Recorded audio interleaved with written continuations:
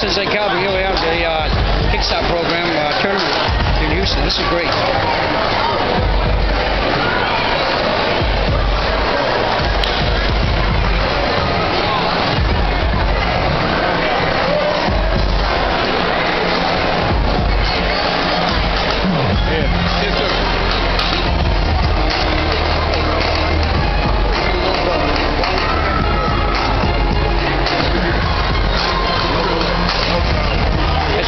That's Chuck Norris and up there in the booth. We try to respect his